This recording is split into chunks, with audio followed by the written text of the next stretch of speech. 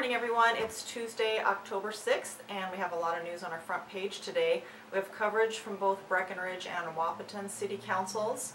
We have a story on a upcoming benefit for a Minnesota girl who is fighting leukemia.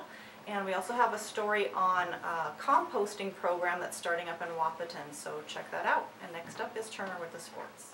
Hey everybody, today in sports we have a recap of Science School football team's fifth consecutive win. They beat Dakota College Bottineau 23 to 7 on their homecoming. And we also have a recap of day one of the North Dakota State Golf Tournament. And the Huskies are competing there and have day two today, so read all about it.